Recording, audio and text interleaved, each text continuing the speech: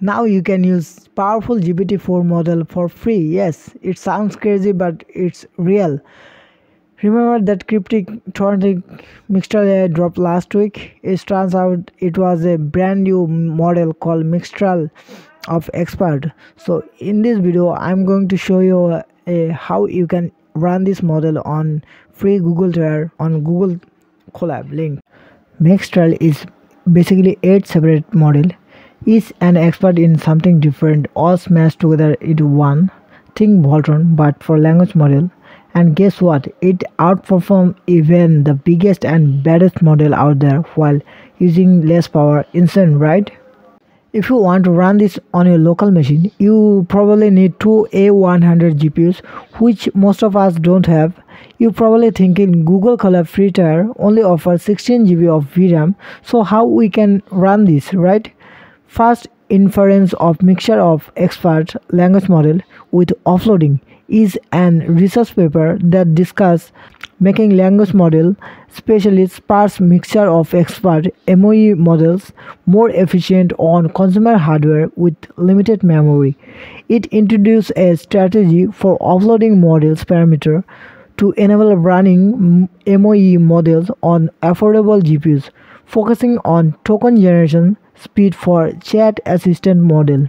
The approach involved observing expert access pattern and designing a MOE specific offloading strategy and combining it with mixed quantization to achieve interactive token generation on desktop hardware. Enough talking, let's run this. Open GitHub repo where they implemented efficient inference of Mixtral MOE model they provided how they have achieved efficient inference of Mixtral models. So in summary, mix, mixed quantization with HQQ and MOE offloading strategy, a combining of combination of two techniques they have used in this demo. Click on Google Colab Notebook link and I will put this link in video description.